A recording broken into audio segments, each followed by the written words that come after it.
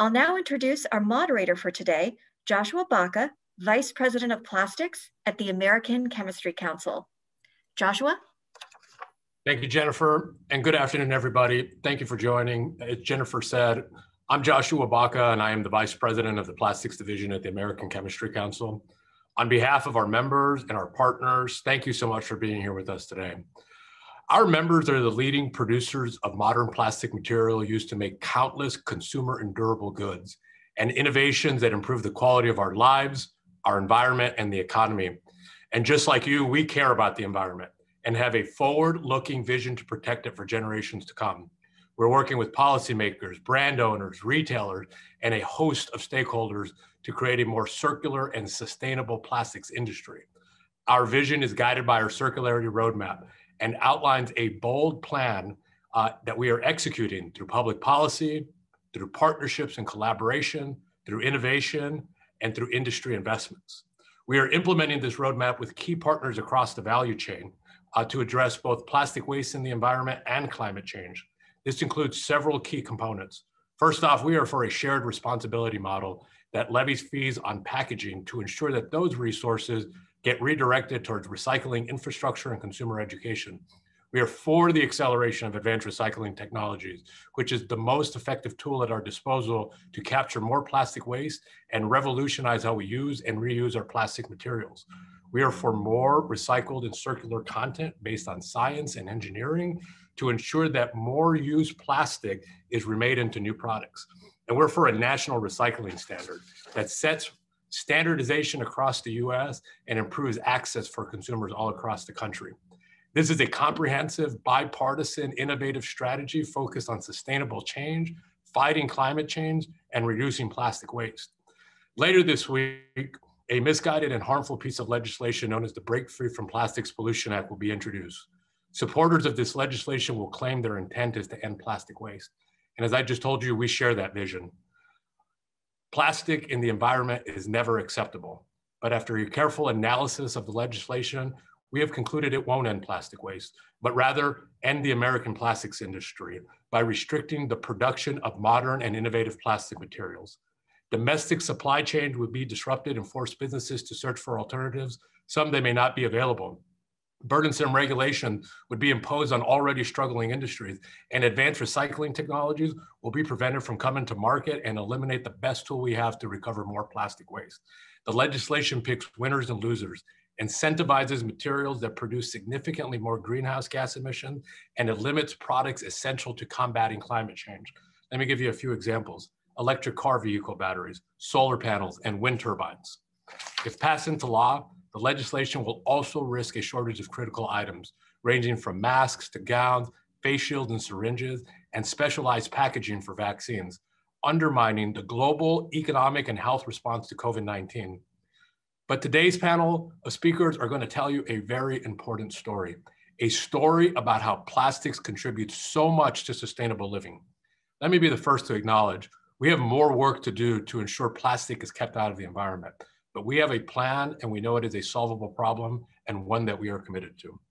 With that, I want to introduce our first speaker, Jim Fitterling. Jim is the chairman and CEO of Dow and the chairman of the board of directors at the American Chemistry Council. Jim is a fantastic advocate for both sustainable and circular solutions, and his vision and his leadership has continued to guide us on this. I'd like to introduce Jim and turn it over to you. Thank you, Joshua, for that introduction, and thanks for inviting Dow to be part of this important discussion.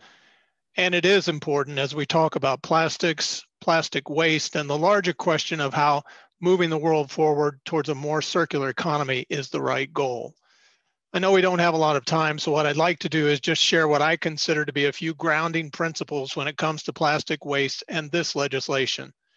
First, one I believe that we all agree on, there's too much plastic waste ending up in the environment, and that is simply unacceptable. Second, we must do more to stop the waste while also closing the loop by creating a more circular economy so at Dow, for instance, we have intended to stop the plastic waste by enabling 1 million metric tons of plastic to be collected, reused, or recycled through our direct actions and partnerships by 2030. And we aim to close the loop by enabling 100% of Dow products sold into packaging applications to be reusable or recyclable by 2035. And I know others here have also set aggressive targets to stop the waste and drive the plastics industry toward a more circular economy.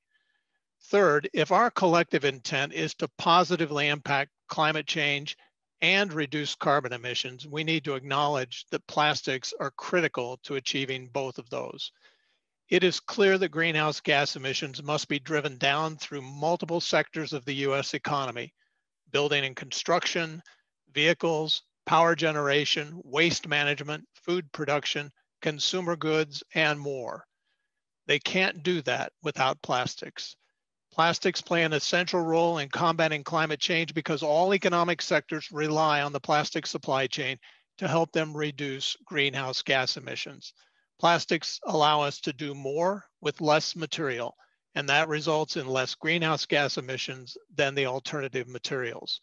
If we want lower carbon electric cars, wind turbines, solar panels, and energy saving insulation, all things that reduce carbon emissions, we need plastics. The fourth item I want to stress is that while we agree we need a more circular economy that protects the climate, and there are provisions in the Break Free from Plastic Act that would do more harm to that than good.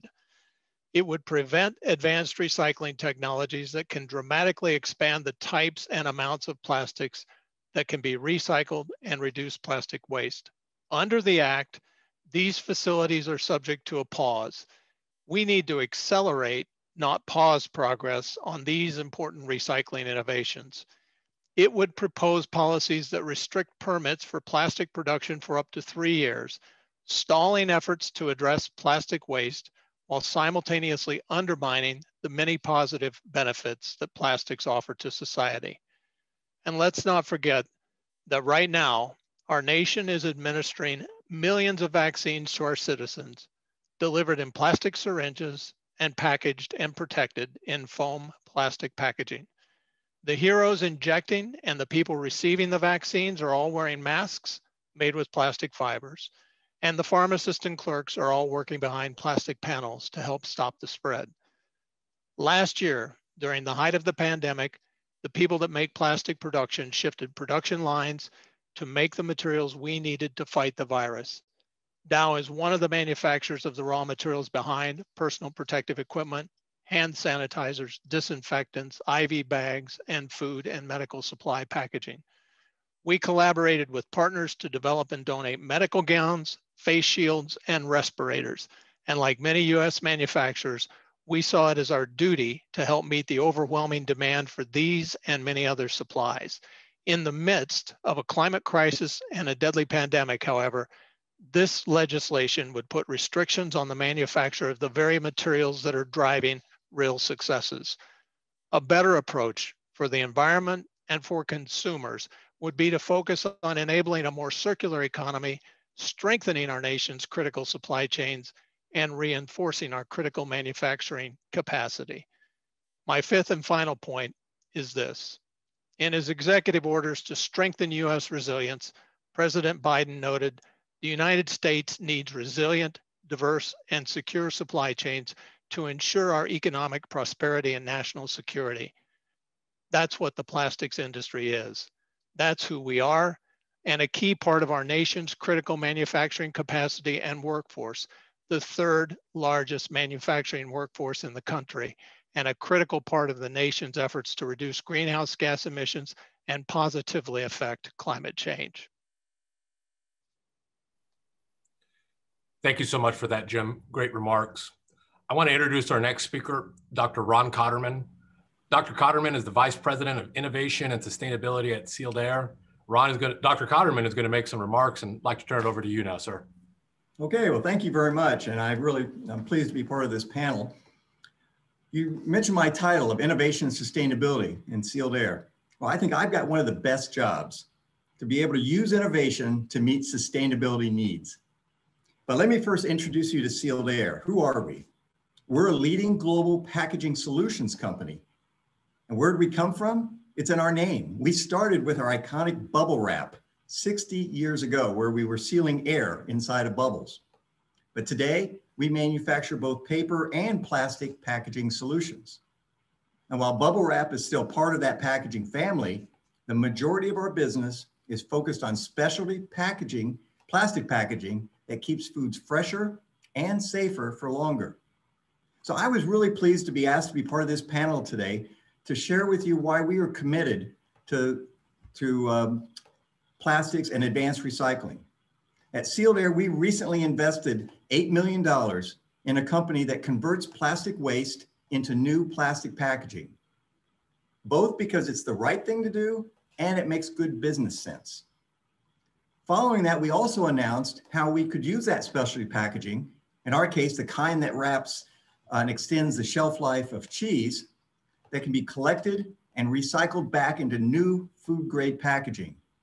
This demonstration involved one of the UK's largest retailers, a major cheese manufacturer, an advanced recycling company, and a resin producer.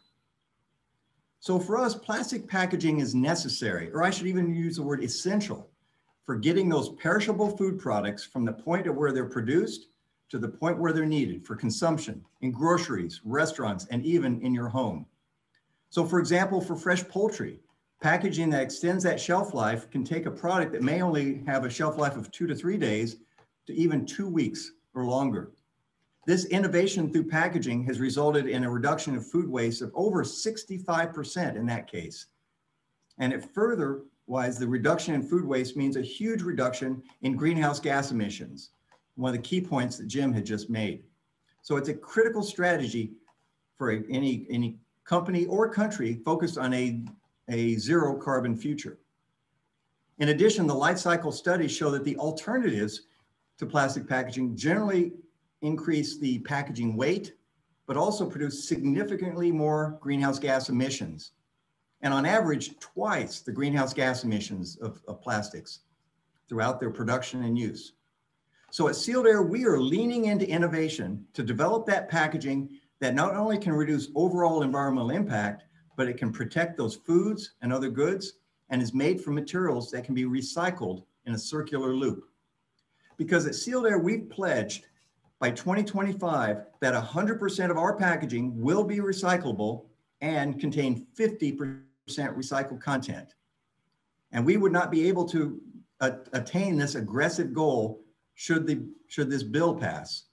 For our food and medical packaging, we cannot make use of traditional mechanical recycled plastics to meet our pledge. We have concerns and there's issues around quality and safety. And so we rely on advanced recycling to meet those goals to ensure the protection of the essential products. Let me just conclude by saying that this bill, if passed, would halt the innovation that we see so critically needed for a circular economy for that plastic packaging and would limit free market investment. And that limitations on investment in advanced recycling in particular is bad for a private business like ours. As a leader in packaging, we are in the business to protect, to solve critical packaging challenges, and to make the world better than we found it. And as Jim said, we need to accelerate, and we need to accelerate the innovation needed to meet those sustainability needs. So thank you very much. Dr. Cotterman, thank you so many so much for those remarks. Uh, why don't we turn it over to our next speaker, uh, Bob Powell. Uh, Bob is the CEO of Brightmark and has a great story to tell us. So, Bob, why don't I turn it over to you? Thanks, Joshua. And I want to thank you very much for joining us today. Um, as Joshua said, I'm the CEO here at Brightmark, and I will tell you that our team is excited about the opportunity to actually deal with uh, an issue that we all know exists, which is we've got a plastic recycling shortfall, and there's a challenge associated with it. So, our team, I believe, has the optimism and grit to tackle what it is we're facing. We don't think the best solution is to unfairly pick winners and losers in the marketplace by putting restrictions on production of highly efficient, durable, and versatile plastics. Plastics do amazing things for us. And as has already been mentioned, there are life saving aspects of plastics, greenhouse gas reducing aspects of plastics as well. So, um, what I would say would be as a society, we've done this countless times where we've had a problem and we've leaned into and on technology and innovation with teams like the team we have here present, to preserve the societal benefits of plastic while also protecting the planet. We simply don't, meet, uh, don't believe it is a mutually exclusive choice to think either plastics or the environment. We actually believe, and we're showing at Brightmark that we can solve the problem and preserve the great benefits of plastics. So we've got a brilliant team creating solutions uh, around this waste problem here at Brightmark. And we believe we can change the course and renew the world. So let me get specific with you. We've almost completed our $260 million advanced recycling facility in the town of Ashley, Indiana, Northeast Indiana. We've created many, many good paying manufacturing jobs. And as we uh, finish shortly, the project there, now under construction for about two years, will employ 130 full time people there, again, once we're fully operational. So when we're fully operational, that first phase in Ashley, Indiana, we're going to process at a scale unknown yet 100,000 tons of plastic waste per year and make valuable products, circular products, remaking plastics in addition to uh, other products like waxes and fuels. So we think that we've got a solution that meets our economies and societal needs. So this isn't just a pilot project for us that we're sort of trying out. The technology invented 15 years ago works, as you can see, at an operational scale and what we're doing is expanding our scale and scope. And we, uh, we intend to continue building facilities like the ones in Ashley, Indiana. a little bit over a year ago, we had a national RFP for communities who asked for us to build additional facilities like the one in Ashley throughout the United States.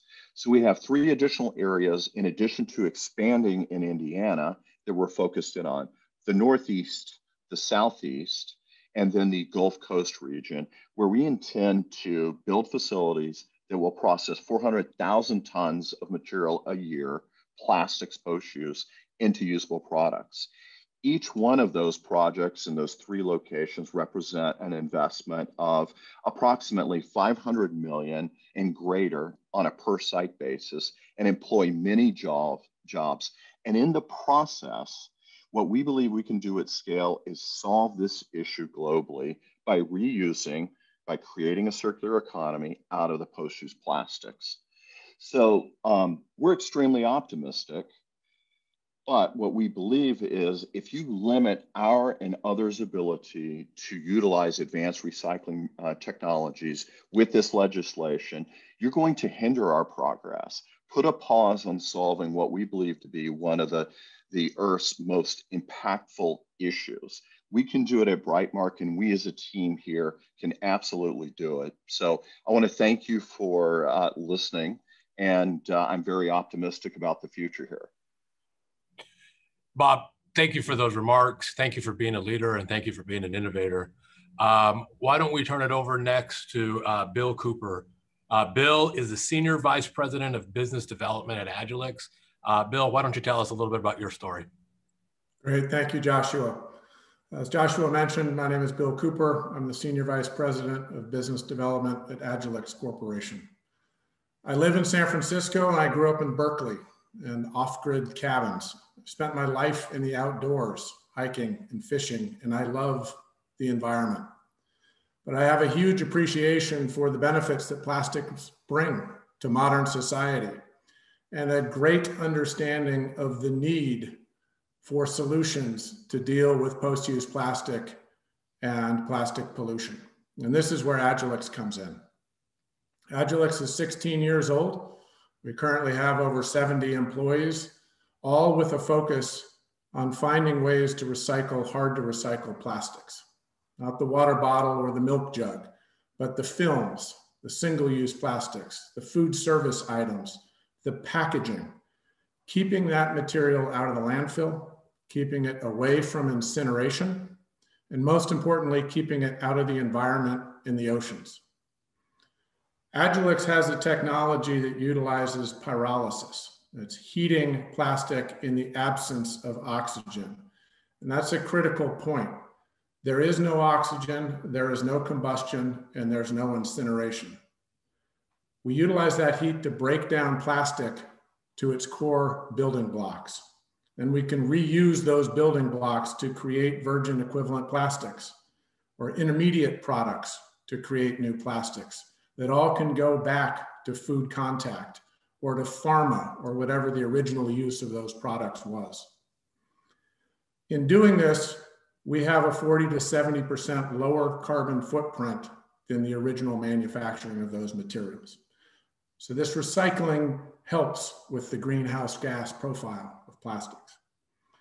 In doing this, we enable our partners to take polystyrene back to polystyrene, acrylic back to acrylic, mixed waste plastics back to polyethylene and polypropylene.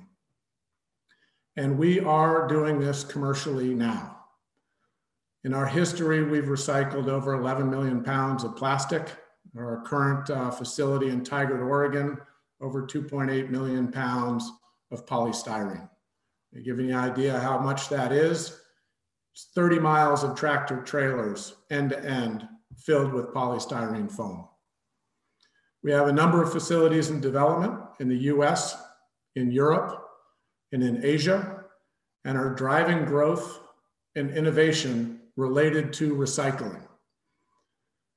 As it relates to the Break Free from Plastic Pollution Act, the Act suggests a temporary pause of up to three years in permitting advanced recycling facilities. These are the facilities that we're trying to build, Agilyx, Brightmark. That will eliminate the US growth in this industry at a critical time. It will shift innovation to Europe and to Asia. It will shift jobs to Europe and to Asia. And it will cripple an industry that is focused on exactly what it should be focused on circular economies, circular pathways for plastics, green jobs, low carbon solutions, and reducing plastic pollution, keeping it out of the environment in the oceans. Advanced recycling is a great tool, and this tool working with mechanical recycling has the ability to increase recycling rates from the current 10% worldwide up to as high as 90%. So let's accelerate the growth of this new industry, not stop it. Thank you. Bill, excellent remarks. Also, thank you so much for your leadership and for all the work you're doing. Um, I want to change course a little bit here and uh, introduce our next speaker, Dr. Marco Castaldi. Uh, Dr. Castaldi is a professor of chemical engineering at the City College of New York and is going to provide us a unique perspective on advanced recycling, sustainability, and circularity from his point of view. So, Dr. Castaldi, I'll go ahead and turn it over to you now. Thank you, Joshua, and uh, thank you for the opportunity for me to give my perspective on uh, a lot of the work that we've been doing over the years.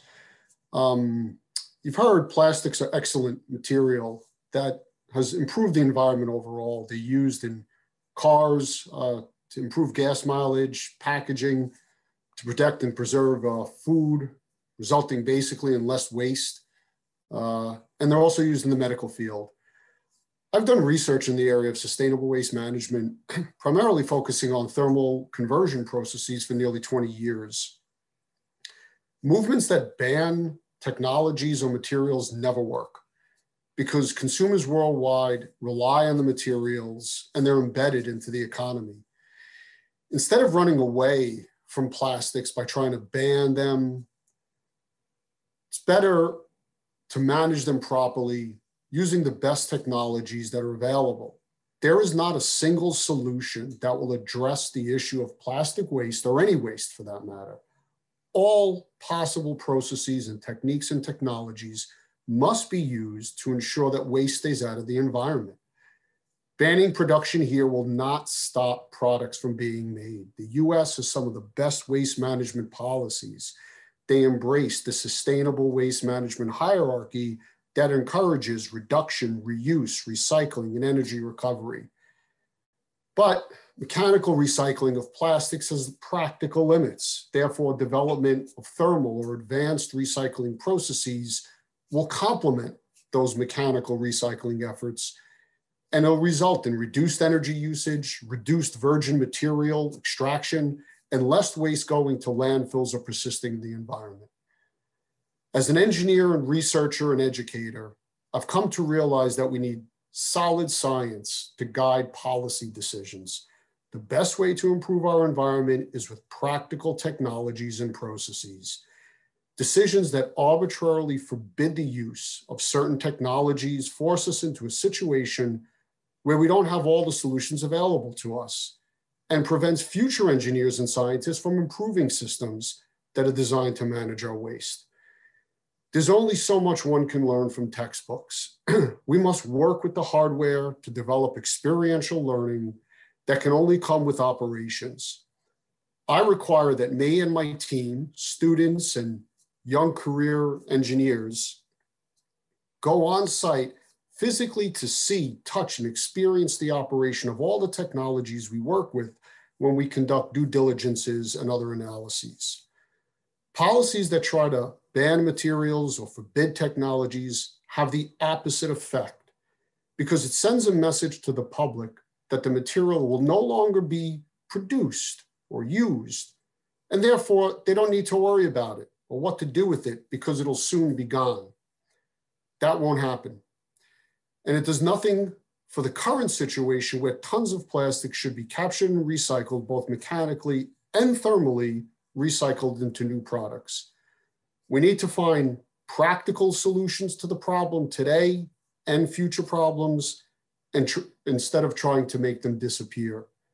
I think this bill that is trying to be enacted will only hinder not only progress, but the education of the next generation of engineers and scientists. Thank you for the opportunity. Thank you, Dr. Castaldi. I think you make a good point there. Bans never work, innovation does. So thank you so much for your remarks. Uh, with that, I want to turn it over to our final speaker, Chris Jahn. Uh, Chris is the president and CEO of the American Chemistry Council. Um, Chris, the floor is yours to close this out. Thank you, Joshua. Appreciate it. So we're at the uh, point of the agenda now where everything's been said, but not everybody said it. So I'm going to try to put a uh, fine point on a couple of key issues here. So look, people have legitimate questions about how plastics contribute to the problem of waste. But what gets our members out of bed in, in the morning is facing those types of challenges head on, confident in the knowledge that we're involved in manufacturing materials that can help us do more with less, that contribute to a more efficient use of resources, and that help address climate change and lead the way to a better planet and a safer world. And you've heard that here today from our previous speakers. Um, our efforts are focused on a few key areas redesigning packaging, modernizing recycling, using advanced technologies to capture and reuse plastic, and closing the loop to keep plastics where they belong, out of the environment and used as resources to make new materials. Now, America's plastics makers have set a goal for 100% of plastic packaging used in the United States to be recyclable or recoverable by 2030 and to be reused, recycled, or recovered by 2040. In just the past three years, over 60 projects worth over $5.5 billion in modern recycling technologies have been announced in the United States alone. These are game changing technologies that have the potential to recover more than 9 billion pounds of waste, mostly plastics, and keep them out of landfills. Many of these technologies will significantly expand the types and quantities of plastics that can be recovered and reused in new manufacturing. Let me give you a couple of examples. So Shell, for example, has committed to using 1 million metric tons of post-use plastics per year as feedstock at their chemical plants by 2025. CP Chem is running a commercial scale facility in Texas that makes circular polyethylene from mixed plastic waste.